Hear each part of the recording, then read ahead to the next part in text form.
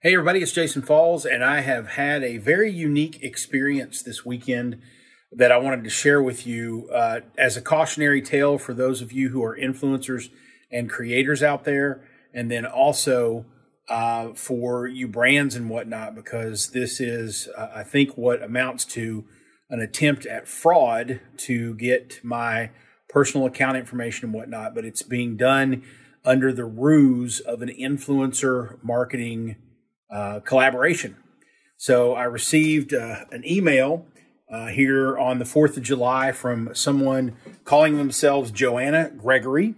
Uh, it was from a Gmail account, which automatically sort of triggers some suspicion if they're doing, you know, some sort of, uh, you know, official influencer marketing work. So this email basically said, Hey, I'm a representative of Constellation Brands. And as those of you in the business know, Constellation Brands is an alcohol, uh, you know, beer, wine, and spirits company. Um, very good reputation, very good brands. Um, because my Instagram account sometimes has some food and beverage content on it, I get outreaches like this from time to time. So, uh, and it could have been a consultant with a Gmail account. So I just continued to have the conversation with them. Ultimately, a couple of emails back and forth, and uh, they agreed to send me product, and I agreed to a particular fee uh, to post a couple of posts about uh, the products. I do that from time to time. You guys probably know that. Um, and so um, the agreement was made. They sent me um, a contract, a two page little scope of work, um, but it was, you know, kind of amateurly done, uh, not necessarily uh, super suspicious, but amateurly done. So another sort of red flag went up there, but I signed it and sent it back. So they have my signature, they have my address, they have my phone number. Then the next day after I had signed this, I get a flat rate envelope, U.S. Postal Service, right here. And it is actually from Whole Foods in New York City. I don't do any business with Whole Foods, don't know anybody there, so that was a little odd. I opened it up, and surprise, surprise, and I got to be careful how I hold this up. Um, I received a check in the amount of $1,840, which was not the amount that we had agreed to in this agreement.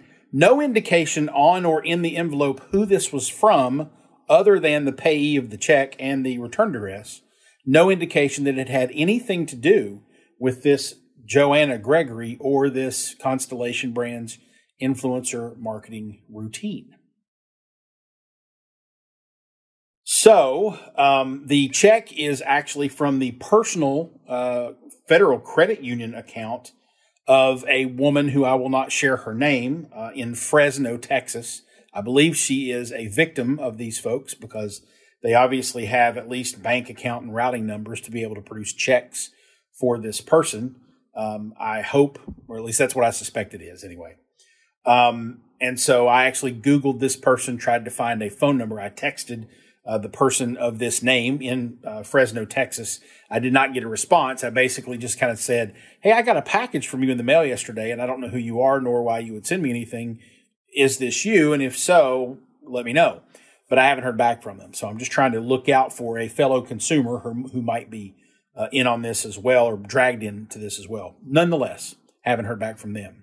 So this is where it gets weird. At 2:35, so I don't know who this this envelope or these checks are from. At 2:35 in the morning, the following morning, which was actually this morning on Saturday, I received a text message from this Joanna Gregory person saying, Hey, wanted to confirm that you got the check that we sent you yesterday. Um, and if you did, let me know and I'll send you some further instructions on what to do with it. That's where I was like, okay, there's obviously something up here. They're giving me instructions on what to do with a check made out to me from a person I don't know and is not involved with their uh, business, or I haven't heard their name in the emails or anything like that. Um, and it's for an amount that we did not agree to.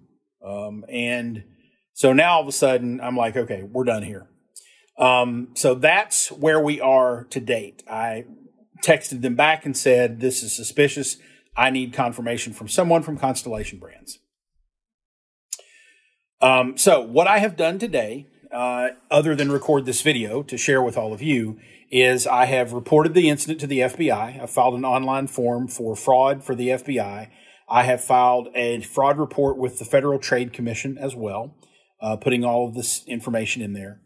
Um, and I have also filed a fraud report with my state attorney general. Um, and those are the three primary places where you should report fraud. Uh, fortunately for me, I didn't give them uh, any of my bank account information. I never deposited the check or anything like that. So they have no way of getting into my money. But they did get my signature. They have my address. They have my phone number.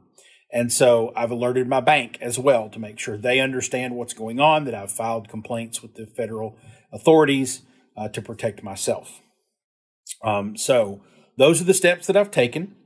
Um, and I will certainly keep everybody updated on what happens with this. Uh, but I wanted to make sure that I shared this with all of you because um, if this Joanna Gregory or whomever is behind this scheme uh, is doing this to more than just me, which I assume they are, I want everybody to be aware of it. Um, so if they have a Gmail or AOL or Hotmail account, it's not tied to a business.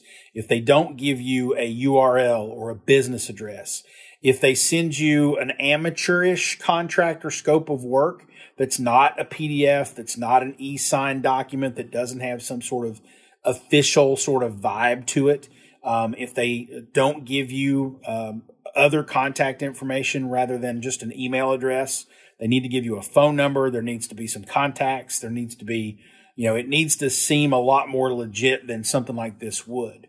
Now, I certainly uh, am somewhat uh, of uh, culpable in all this because I was gullible enough to let them get as far as they did. Um, but I have done deals like this before with independent consultants who might seem a little suspicious if you have a, a very suspicious, you know, eye to these sorts of things. So I dealt with things like this before and they worked out okay. But my spidey senses, if you will, went off at some point when there were four or five red flags in a row, it's like, nah, this isn't cool. So I just wanted to share that with you. Um, if uh, Joanna Gregory is out there watching or listening, sorry, but you've been reported. This is way too crazy and way too suspect. I'm not cashing this check. Um, and if the authorities want it, I'll be turning it over to them. So good luck to you and your illustrious career. Hope that helps everybody. Keep your eyes uh, open and uh, and you know do the smart thing uh, don't fall victim to something like this. I'm glad I didn't. I hope you don't.